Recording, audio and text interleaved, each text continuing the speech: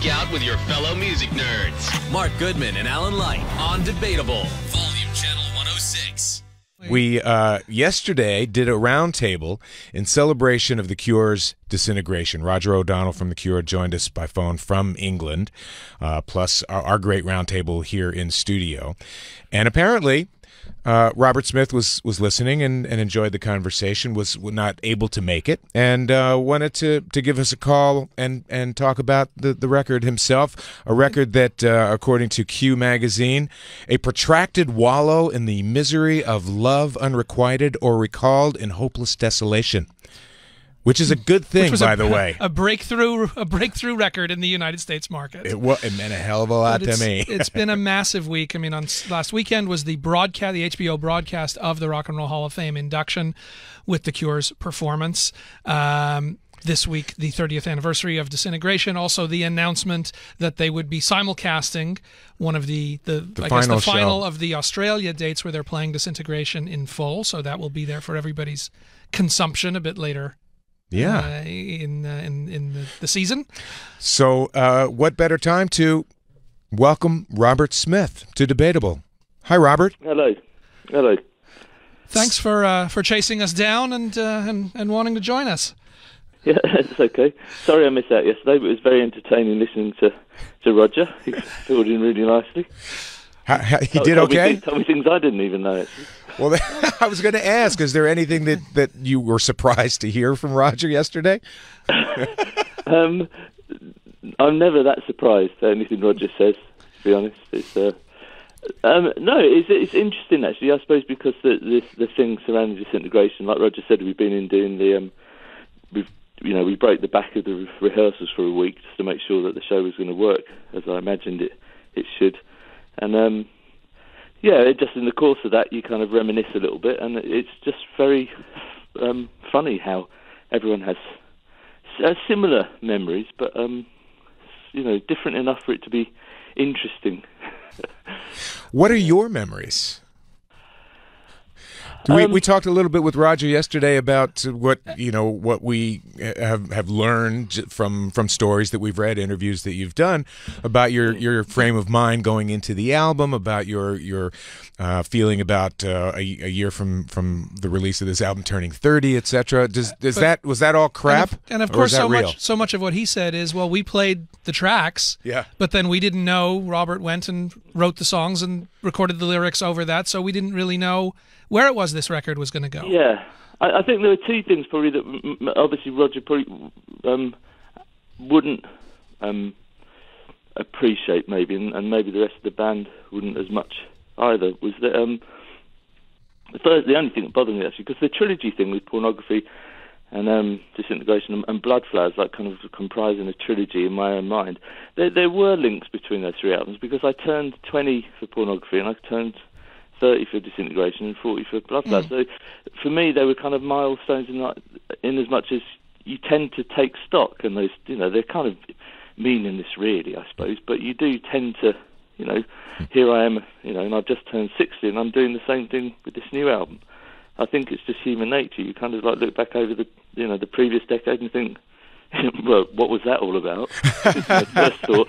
But um, you know, you, you just you th- you kind of su- try and sum up where you are at that moment. And I think that's probably what I was doing with disintegration. Obviously, we weren't all at the same age. We weren't all doing that. So it, it was very particular to me at the time. And I, also realised through experience that I could only take, you know, you can only take so many people with you at one time. You can't create a mood of, you know, the mood that I wanted to work in. I couldn't create that for everybody that was around. I mean, it wasn't just a band. There's, you know, there's three or four people. There's Dave Allen sitting behind the desk. There's various other people working there. There's also family and friends visiting, and and generally it was a kind of a convivial atmosphere. Roger was right in that. There was always a lot of laughter, but I created a sort of a, a space where there was no laughter, and I think that maybe I was often the only one occupying that space, so it may have gone unnoticed at times. But and and it's very true that I I um, up until the 2004 album, I I,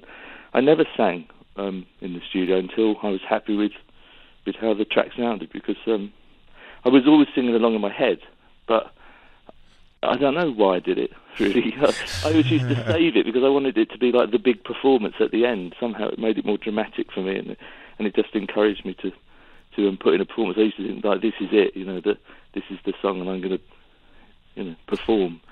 Um, I think if I'd been doing it constantly through the recording process, I might have wearied of it and and maybe changed stuff. So I like the idea of it being complete. You know, generally speaking, my vocal takes they they they're usually I do three to five, and it's usually the third one that that's the master. So, and that's it. I very rarely go back and sing a song. Um, it's- so it's that sense. There's that sense of performance. I think that I wanted to keep, and if, and but the, the you know the trade-off, as Roger said yesterday, was that the rest of the band were unaware of what the songs were about. So, you know, but but also having said that, it was nice to be able to try and create atmosphere and mood with pieces of music because that's essentially what I was trying to do with disin- disintegration. I was trying to make it more cinematic and and evoking emotions. That's why I left you know two or three minutes before I started singing to create that that mood, and then hopefully I'd capture it in the lyrics. So. Though it's a- Ah, it- that's that's the, those long intros. But it, but it's an interesting challenge, as you say, to create for the band because I think we all think, oh, they're going to play to the moods and to the themes that he's singing about, and you know that's what they're they're trying to capture within what each instrument is doing. But this is Well, you know, I, they're I'd disconnected. Often, I would I would give people like a you know words or like a, a line, or I'd say you know this song is about. You know, I kind of trying to set the mood. But generally speaking, if you're playing something at a slow BPM and it's going and it's lasting seven minutes, and it's like and I'm putting thunderclaps in at the beginning, you're getting an idea of what the, the mood's going to be. And I, mean, I chose the studio because it was remote. Um, we, I wanted to record, you know, I pushed the recording back to later in the year when I knew it was going to be miserable. So I was just kind of setting a, a you know, I was creating an environment and a, and a knowing what I wanted to come out at the end of it. So I wasn't any more particularly morose during that period than I than I ever am. Um, but I wanted to draw that out of myself and also out of everyone around me. I just wanted us to create something that had that feeling. It's a kind of universal um, feeling of melancholy. It wasn't specific to me at that time. And, like yesterday, you were saying like my state of mind and things. I mean, I just got married. I was deliriously happy. Right. In, in for most of the time, and we did have a fantastic summer. You know, the band had so much fun that summer, um, because everything had kind of worked out. You know, we, it was ten years since we'd kind of started out for, you know, properly with the, and um, and everything was was going pretty well. You know, and, and so to an outsider, we're like, why on earth would we be creating these really like doom and gloom songs? But um, it's it's often been a way with us that there's a the more miserable the music, the happier the band. I don't know how it works. generally how it works. Funny how you managed to perfect that balance. Yes. Um, so many people. see the band when we're playing pop songs. it's a more miserable. Miserable. miserable bastards. Um, so so many people talked to me. You heard it yesterday when we had Laurie and Lindsay talking about it, and some of the the comments that we were getting from people who look at disintegration as such a landmark, you know, such a transformative uh, sort of an album. For you, what does it? You know, what does what does that one represent? Does it represent a, a, a real shift or a, a move into different territory, or you know, is is there a reason that it continues to sort of occupy that space in people's imagination? Um, I think there are a number of reasons. I, th- I don't think it was a shift personally. I, I think that um, there are songs on the Kiss Me album, the preceding album, which signify what was coming next. It's just I could have kind of gone in a number of different directions. I think because the Kiss Me album had a whole load of stuff on it. You know, it kind of ran the gamut from you know out and out kind of like pop music, like Why Can't I Be You and, and stuff like that, right through to things like um, A Thousand Hours, which is a really kind of downbeat and quite you know very very melancholic song. So uh, I, I I just thought it would be more interesting. I also just felt like I wanted to do the bigger, more cinematic, the, the soundscapes and the, the more epic kind of like songs. I didn't really want to do any more pop stuff. I thought I, I thought maybe uh, looking back that maybe I thought it was a way of kind of like almost pushing back against the success that we were getting without actually being out and out against being successful. Because of course I wanted everyone in the world to listen to us, but I felt that we were running the risk of somehow being diluted by, which is alluded to yesterday. Funny enough, yeah. but by becoming more successful, you do you do tend to you know you're in danger of losing something very important at the heart of the band. Um, I think also personally, I was driven by the fact that I felt like the pornography album, which I like I said I'd done when I just turned twenty. I thought was I, I'd achieved something that was I thought that that's a, if that's the only album I, I'm remembered for, it's a great album. I really loved it. I was really proud of it. I mean, I, I was proud of all of them, but in that one in particular, I thought I've actually managed to capture exactly what I can hear in my head. Um, and I think with disintegration, I wanted to try and do the same. So I, I kind of I, I forced myself to to enter this sort of you know this this state of mind whereby I was trying to cre- I, I personally was trying to create something which would be memorable. I know that the rest of the band and like Roger was saying, it was just making. it. I wasn't just making another album. You never go into a studio thinking we'll just make another album. You'd be insane. But um, and as, and I think because Roger had no uh, reference point really, because as he said, it was his, the first album really that he'd ever pl- played on. So you know, it was a um, it would be a shock actually because it was kind of mental some of the stuff in those days that we used to get up to. So um, not all albums are made like Disintegration was made.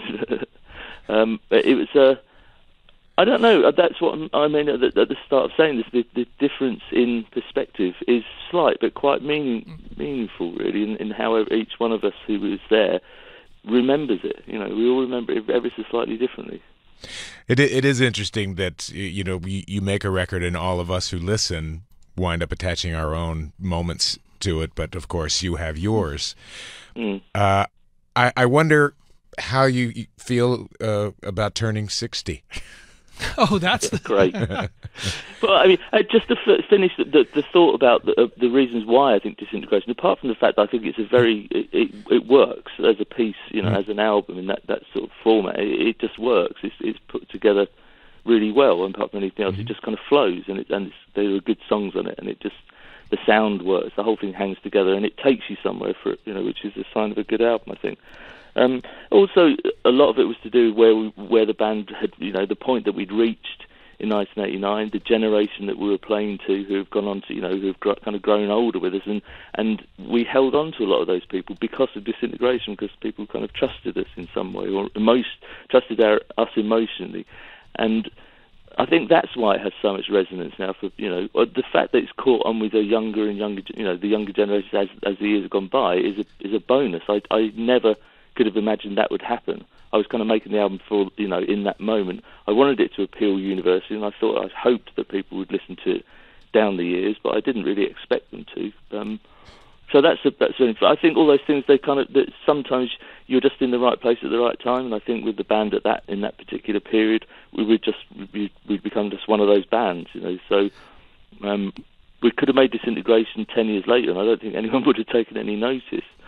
Um, so it's not just about the, the songs and it's not just about the lyrics and just about the sound. I think it's also to do with when it happened and um, mm. well, how it happened. And, and alternative music was kind of it was something that was it was suddenly kind of emerging. It was becoming mainstream, and, and all those things kind of like add, added together. And yeah. I mean, you say that that it's in the moment, but one thing that we that we did talk about yesterday a bit was how something like "Love Song" has become, you know, almost a modern standard. Um, covered so much and, and used so much and showing up. I mean, clearly some of these things are things that, that transcended that moment and have connected uh, at other yeah. times as well. Um, yeah, I think um, the, it was it was right actually yesterday. Whoever said it that it was slightly out of whack with the what was on the rest of the album, but I did want something. I just wanted some some light on there because I I was talking with I remember the one of the one of the um, running orders had one of the B sides on and didn't have Love Song because I felt for a brief moment, maybe a day or two, that perhaps this was compromising the album. It was too much. It was too happy. so, but I'm glad that I had to I rethought that and um, and, and stuck it on because I think it actually throws the other songs into starker relief. Actually, I think it works really well where it's placed on the album. It's because if you feel what you're losing by the fact that that song's kind of there in the beginning, there's a sudden sort of second flush of hope, and then it's all kind of it's taken snatched away, away from you again. yeah, but it is odd actually hearing um, some of the you know some of the verses you were you were referring to yesterday. Of, uh, that's true of any of our songs. I always kind of like it makes me jump when I hear other people singing our songs. But um, yeah, it's, it's I suppose it's a very simple song. That's that's probably uh, that, that, you know why it was popular. It is really really simple. It's like Boys Don't Cry in that respect. It's mm-hmm. just a you know really really simple song. Um, yeah, what's it like turning 60? I, I can't believe I have, actually. I'm still in denial. I, yeah. Well, that's that's that is the the question. You know, I only and I mention it not because I think sixty is old, but rather because it's it's how you react to it, and and in addition to that, what it is that you have picked up over these years. You are you still kind of averse to success? It seems not. You've come to terms with whatever that might mean for you.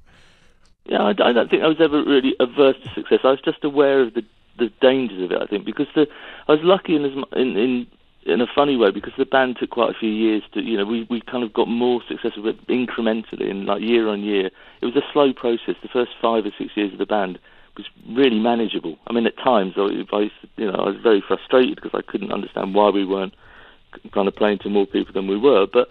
But with hindsight, it was great because it meant I went around the world a few times and I did all I wanted to do, and I and we played music to people, and I learnt about how it all worked, and I enjoyed, you know, meeting people and seeing things, and in a way that when you're famous, you can't, you, you really can no longer do that very easily. And so when success came, I was able to cope with it more. But we actually reached a, po- a level of success which I could never have dreamed that we that we'd reach because I knew that we would never compromise. And so I thought, well, you know, we're never going to be playing stadiums because that that isn't what happens to a, a band like The Cure. So when it did, I thought I was prepared for it, but I actually wasn't. And I think I kind of, uh, um, on the Wish which followed, we were still at that level when we were playing stadiums on that tour. And I, I sort of had something of a, of a breakdown, I think, because I thought I can't just keep doing this. It was just a, it was dehumanising to such a degree that I, I found it certainly coming back off the Wish tour a couple of years after the Disintegration tour. I, it took me months to, to get back to any kind of what I call normal, which isn't even normal. so, and so I realised that it was taking me longer and longer to become, you know, to get back to how I, you know, I feel comfortable with myself. And it's, um, I didn't think it was a price worth paying really. So, and the the band, um, luckily, really, that, um, Boris and Porl left after that tour, and the band kind of uh, imploded, and we had a couple of years of inactivity. So, but that allowed me to just think about what you know what I was doing, why I wanted to do it, and I did, went off and did some other things which are banal and actually very fulfilling. And then came back at it and was you know since then I think I think about what we do in a slightly different way. I think at the, in some ways that career trajectory from like '79, the first album, through to Wish album in '92, the you know Disintegration and the Wish were the two sort of like big albums. I think things were different after that. I no longer want, and I didn't feel like I wanted to achieve that. I never felt competitive again after that. Uh, up to that point, I think, particularly as a younger person, you have to have that competitive, that, that that feeling that you want to beat other people, you want to be better than other people. You know, which is why I think another point about yesterday's discussion, we did play the game up to a point because we were doing you know, shows like Top of the Pops and stuff, because I realised that if we didn't do it, someone else would do it. They weren't going to cry, they were going to tear their hair out if I turned it down. So I used certain parts of the game in order to get us to where I felt we should be. But, but uh, you know, we didn't do national television, we didn't do that kind of stuff too much, you know, certainly not in America, because I was always very aware that we, I wanted us to be alternative. That was the whole point of the band, you know. I wanted us to be something different. Um, and so we couldn't really go and compete with people in, on their playing field. We had to create our own, and that was really what I was trying to do. So, having said all that, what is it to go back? Um, you know, to go back to this record, thirty eh, on this this thirtieth anniversary, and try to reconnect with it. I mean, is this about trying to get yourself back into the mindset that you were in when this record got made, or do you come to these songs in a different way and you know maybe to express something different when you when you're doing them now? Well a lot, a lot quite a lot of them we've have stayed in the main set you know in the in the pool of kind of like 30 40 50 songs that we draw on um, when we play live. Um, certainly like pictures of you. You know there are certain songs which i think a, a, an audience would be they would be sad if we didn't play those songs. So lullabies another one um, love song. I, I really enjoy it, and I, I really enjoy singing them. I really enjoy playing and singing those songs. We, we've last tour we did in 2016, the big tour that we did. We alternated, you know, every sort of third night we opened with playing a song and finished with disintegration. So they're, you know, I'm I've been singing those songs since the album came out. Um, a few of them have dropped out. A few of them have kind of been relegated to that, and, and a few that we'll be playing um, later in the month. Uh, we've never played before. A few songs from that time never became songs. I mean, that we've I've dug up some old stuff, and it's uh, it's funny. I mean, rehearsals are quite funny because Roger was right. We like looking at each other and thinking, really, I don't remember ever playing this. So, um, It is when you commit when you commit to that full album thing. It does mean there's something you may have not played since you left it in the studio. Yes, there there are. There'll be some things. There. So the the beauty of it is no one is going to know that we're playing it wrong. Well, if you're playing it, it's right. That's how it's supposed to be. Yeah, that, that's the spirit. So, um, is there uh, w- when you look at this, you're going to play this album in its entirety on uh, in Sydney, but uh, are you going to do that anymore? Is there any other dates on this tour where you will do that whole thing? Well, and, and the- what does that mean to you? The, the year, the, the the rest of the year is is it's kind of weird because my time has been taken up. Like the last few weeks, um, I've been finishing off the film with Tim Pope of the Hyde Park show that we did last year, which was actually the anniversary of the very first show that the Cure played. It was the 40th anniversary show. So we played in Hyde Park in London. We filmed it, and, and it just actually today I've just signed off on it.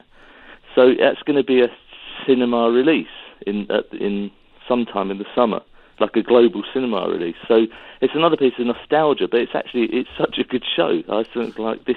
Yeah, I just wanted it to be known. It's like it's a it's a legacy piece really, and Tim's done a fantastic job with it. It looks absolutely amazing, and it sounds great, even though I say so myself. Um, so I, I'm I'm juggling my time with doing that, and also trying to finish a new album. So it's a very weird. You know, I'm kind of my head Caught between time zones? Right, all the way back and all the way forward. Yeah. yeah, so I also am very. I don't really want to um, dedicate the rest of the year to celebrating something which happened 30 years ago. I would much rather celebrate what we're doing now. So the idea of the global stream of disintegration was really to give me a bit of an out in case I decide that we're not going to do it again. Because I figure that you know it will be on there and it will be on demand and stuff. It will be there for a while. So anyone that you know, you can kind of set up a decent system. If you've had enough notice, put some nice speakers, plug some nice speakers in, turn it up. Um, I know it's at the wrong time for some people. I find Well, it weird when you it's say tough you've for got to get up America. Three, three in the morning. You just stay up late. Come on. It's not that big a deal. Well, it's three in the morning in L.A. It's six a.m. in New York. Get up early. That's all right. That's like tea time. Come on. Oh yeah. Um, so I, was- so for me that was you know it, I thought apart from the fact I thought it would be nice for people to see it because obviously even if we do do it again, we're not going to be going around the world playing the disintegration show because it would be slightly odd I think. Um, but yeah, I've got some some ideas of how we can incorporate it into something, some of the things that we might do later in the year. But like I say, I, I'm the closer I get to finishing something new, the more excited I get about it, and the, the more I want other people to be excited by it, rather than you know, you do you get what I'm saying? Don't you? Yeah. Yeah, sure. So it's a, it's a bit of a balancing act, really. So I'm really pleased that the attention is on disintegration, and because it deserves it, and, I, and I'm really proud of it, like I said. But I would hate it if, by, uh, you know, come Christmas, that's all I'm still talking about. I would think I would go mad. So. Well, um, did we? Do we have some sort of release date? I mean, maybe the new record's going to come out around Christmas or or sooner. It will it will be out for Christmas, or I will. I don't know what I'll do. Some kind of like I won't even say. But, um, yeah, I. I, I mean, what's what's the status of the record now? Are you are you you in final mixes or where where are you at? Um, I need to. it- It's it's at a point where I need to sing some of them because they're very. There are a couple of really long songs. There- There's a couple of like ten minute songs, and without some kind of vocal performance and structure, so it's a kind of halfway house. Like I was saying before, I never sing. This time, I'm going to have to sing a couple of the songs because otherwise, I can't. I can't utilize, particularly something like we've, we've got Reeves in the band, Reeves Gabrels, and I want to to to use him, you know, to, in in a way that maybe hasn't been used so much. He's such a fantastic guitarist and so versatile. I mean, he's, he's he has a sound, but he's also incredibly adaptable, as he's proven through the years that he's been playing with us. And I want to use that, what you know, ha- what he's learned, I, I suppose, what I think he's learned about playing in the Cure. And I think the best way to do it, because he plays around, because he's played Bowie in particular, he plays around the vocalist, and, and he's brilliant at doing it. And so, in order to get the best out of him, I really need to be the vocalist. So I need to put some vocals on some of the songs to allow him to really perform. Um, you know, the drums, bass, the the six string basses, all that kind of stuff. The, a lot of the keys, the basic songs are there. I, I'm I need to put some vocals on, So um, you- which is what I, what I'm supposed to be doing tonight. You mentioned these, you know, 10 minute songs and length. I mean, those were Roger yesterday was using, he said epic, Epic. massive. Those were the kind of words that he was using. Is that, uh, you know, a, a reasonable way to characterize these, these songs? Yes, my my only dilemma at the moment is to is getting a running order that works. I've gone through so many different running orders. My favourite running order is so utterly bereft of hope. It's so morose. I played, it, I played it to a couple of people whose opinions I value, and they just look at me and think, you know, it's so dismal in, in a really good way, but it's just in, it's just relentless, and it's like kind of four, forty. My my favourite run was about forty-seven minutes of just relentless kind of doom and gloom. I realise that you know, probably to make it slightly more interesting, in the same way that pornography had Strange Day on it, and and Disintegration's got Fascination Street and Yep. Lullaby. It manages to, you know, the the best albums manage to re- have a sound and a character, and and, and create an atmosphere and a mood. But but are allowed you're allowed to play within that, and and that's just what I'm struggling a little bit with. So I think we're going to have to go back in and do another song. I have we we didn't do one of the demos that I'd written because I thought it wouldn't it wouldn't work, and I actually think the album needs just something ever so slightly off kilter to make the rest of the songs work a bit bit better. So it's it's weird. We haven't done it for ten years. I kind of I've fallen out of practice of you know How you do this? how to put it together. Yeah. Yeah. So the individual songs, they're fantastic. It's, but now I'm faced with like, how do I turn this into something which is a, a piece? You know? And the other thing we do need to ask is Roger had said that from, you know, his perspective, he felt like this could be the, the final Cure album. Uh, well, he's very careful to say nice things about me, wasn't he? Just in case he isn't. I, I can't I can't gauge you know where that falls on his on the on the usual spectrum Yeah. but uh, No, um, I don't know. He was right. I mean, I, I tell everyone that around me that whatever we're doing is the last time we're going to do it. I have, I never think about. You know, I'm not one of those people that thinks like this album's going to be great, but the next one's going to be even better. um, this is, as far as I'm concerned, yeah, this is it. But I've gone into every every album thinking this is it. Um, and not glibly, I actually think, yeah, this is it. It's, you know, This is it. As I, I don't have really in, in this format, in the Cure format, I don't have any anything more to say, and I'm going to move on to something else. Well, if I'm honest, I think we've already recorded two albums worth of stuff. So I mean, it's either going to be a double album or there's already two albums made if I can get the words and the singing done. Um, so it won't be the last Cure album. I, you know, it's not something that I can't really think like that. I suppose because I, I, I don't, I can't. I've given up projecting into the future because everything goes wrong when you do that.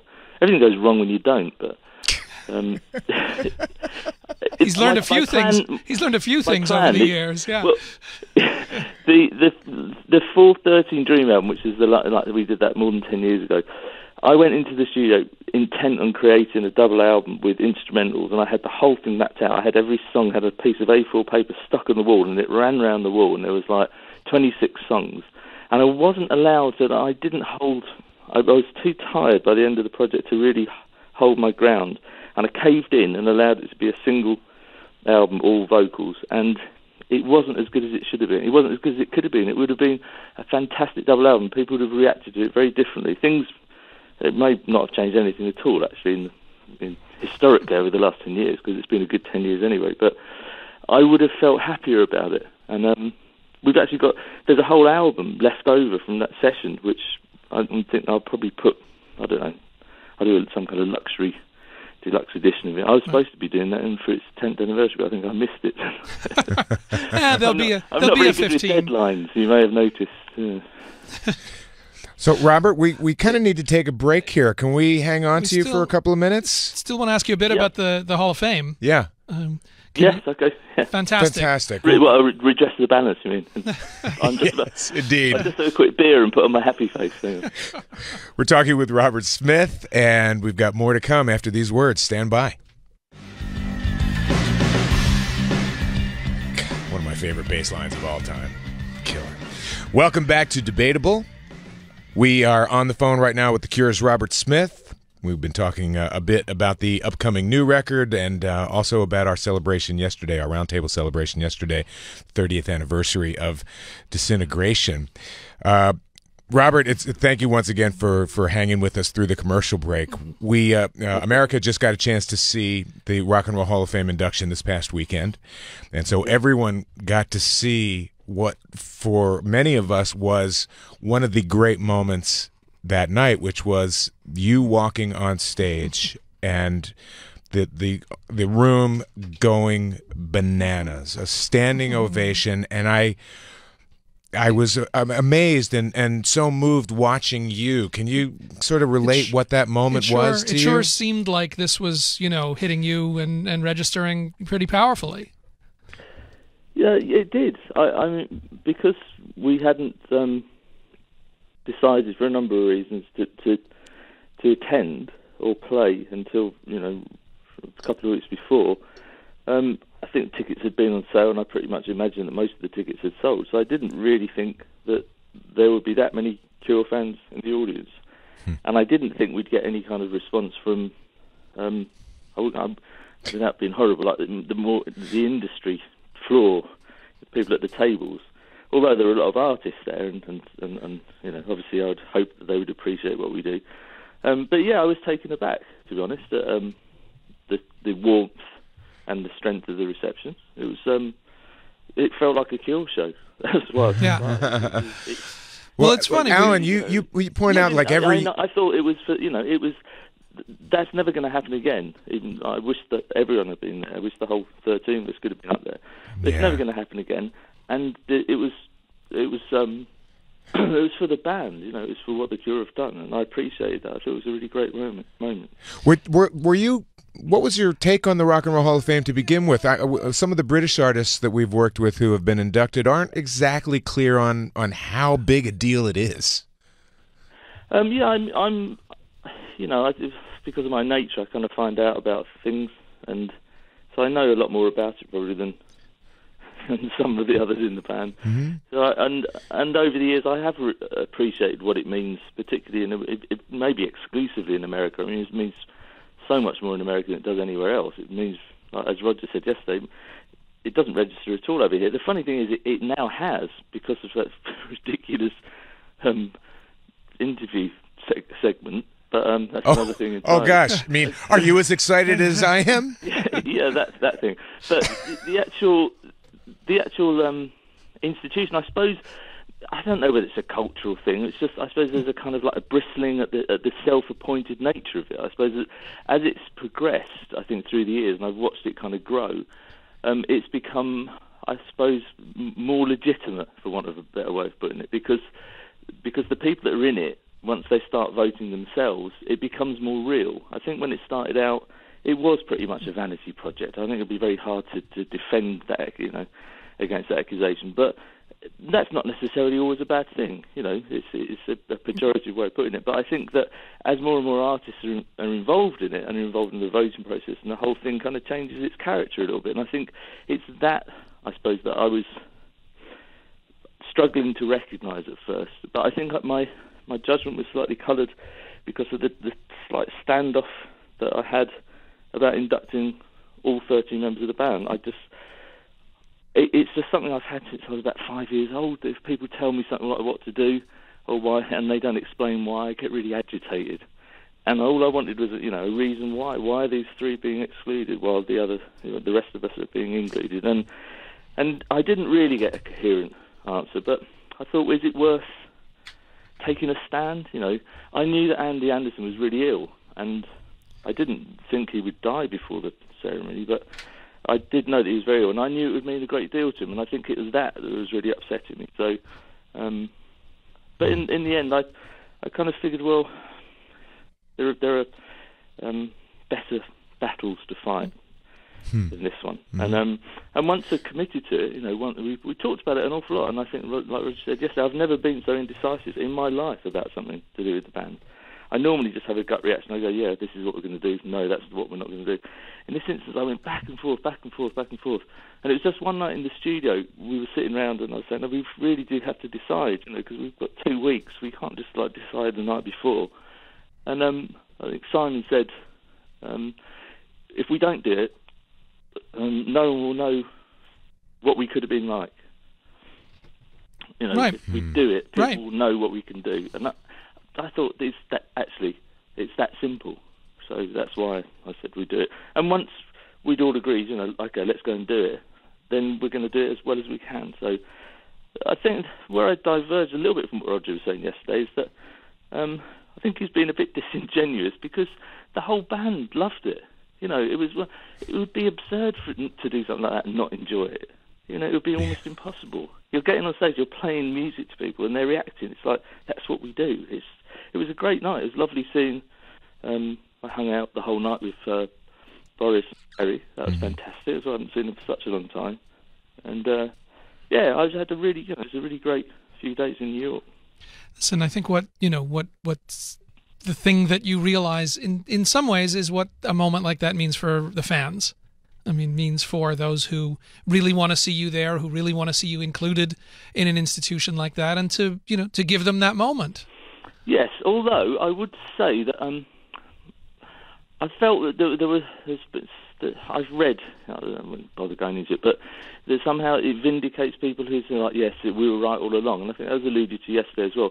I don't actually go along with that because I think the whole point of liking a band like The Cure is that you don't need vindication from other people. That's surely at the heart of of alternative music. You you like something because you like it. It doesn't matter if it's recognised by other people, by your peers, or by anyone. You can't be told what's good or what's bad. So that part of the sort of the idea that we'd somehow vindicate, I don't really buy into that. I, I really appreciate the fact that we've been inducted, and I'm very proud that we're alongside some of the people who are my musical heroes.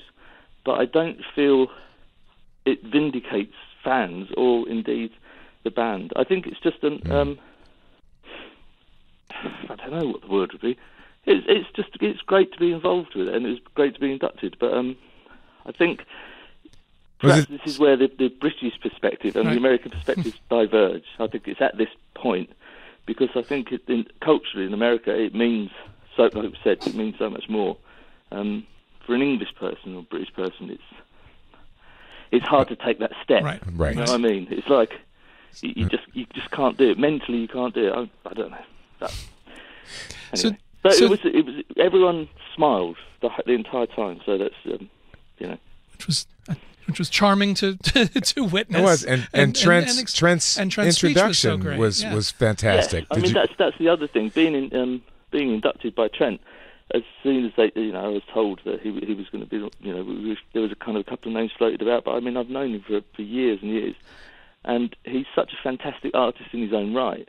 The fact that we were being inducted by someone like that also made it incredibly special. So, yeah, I mean, it's just great. The whole thing was re- really good. You know, everyone was really nice. Everyone was friendly. There was no, you know, everyone is kind of doing the same thing. Everyone's trying to to do the same thing. They're doing it in different ways, but also everyone. Um, you know, I don't know. I, it was just it was fun. I mean, it's actually a very memorable um, night, and it was the icing on top was the was the. I mean, I you know obviously I don't understand what going viral means because I'm a luddite, but um, it, it, it made me laugh because I thought this is the moment when we're inducted into the Rock and Roll Hall of Fame and all the things that we've done, all the things that we're celebrating, and that was the thing that everyone sort of like the next day. It's like I got, I've never had so much attention from people I haven't spoken to for like decades.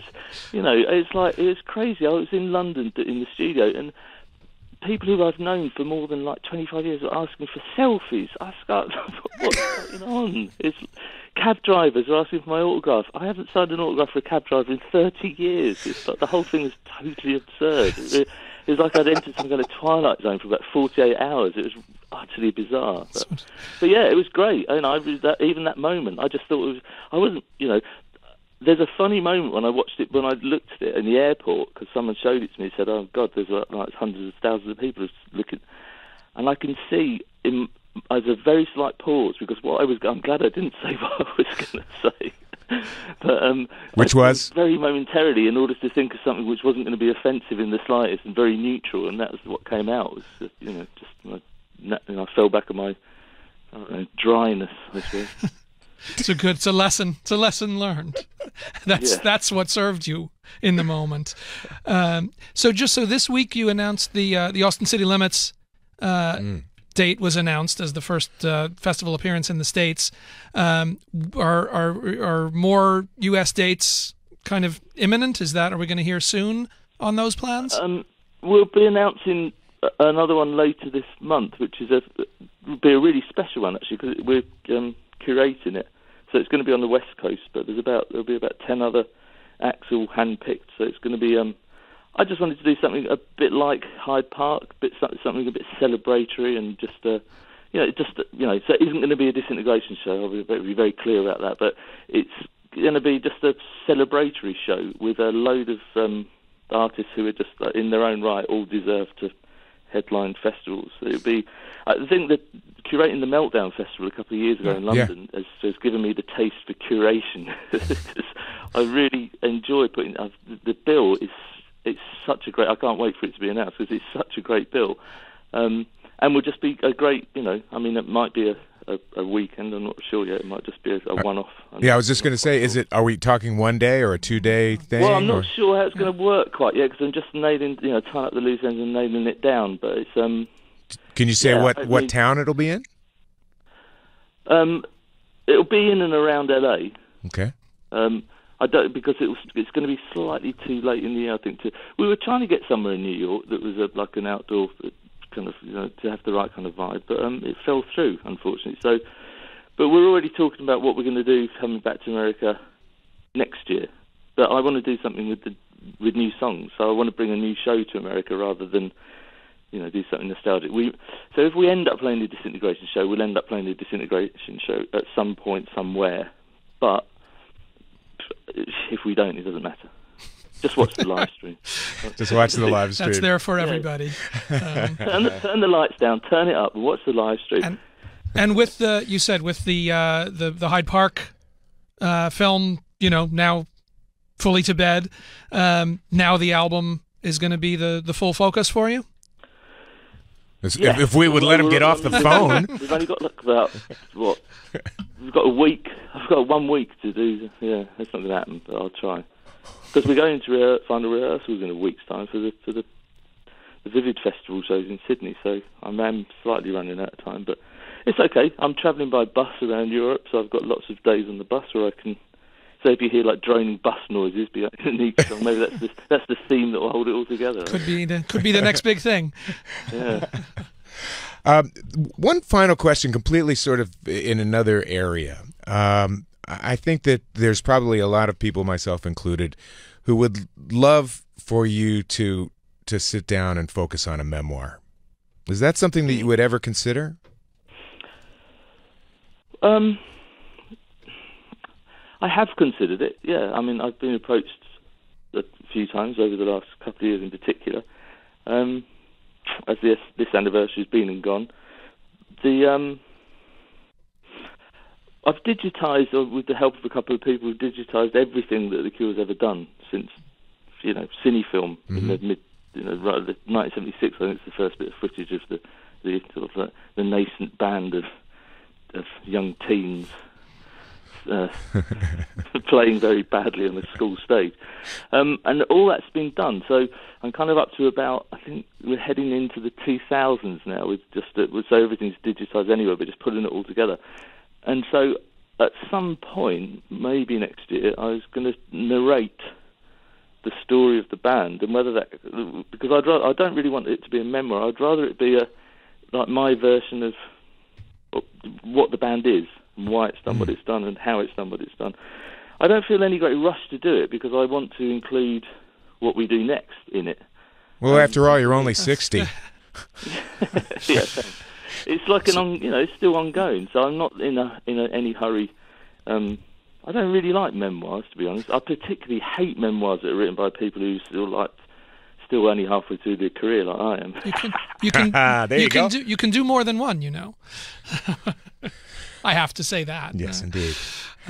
Robert, Robert. Uh, it's it's been wonderful speaking with you. We will we'll let you get back to complete this record. Just get to, get to work, my friend. yes. I, I forgot. I, was supposed, I, I know I'll upset some. If I, the um, the meltdown thing that we did, the show that we did last year as well, the, the complimentary piece to the Hyde Park show, that's going to come out. We, I finished that this week as well because I've been doing them in tandem with two different with Tim and Nick Wickham is doing the meltdown thing. So that's sort of the other side of the band. It's like in the Royal Festival Hall in London, and it's and it's very much the, you know stuff that's like fan driven kind of stuff and and the two are coming out at side by side as a kind of like anniversary piece and it's um it's really good actually I, I just I know I say that I don't actually say that I normally don't self promote um, You can, If you say it, we you can believe you. say it. It's done. It's all right.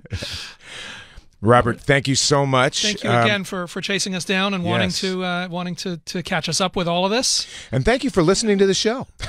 yeah it's my pleasure it really is it's good We Good will show. Please continue. We'll do- you have the number. Feel free to check back with us whenever you like. we'll do it again soon.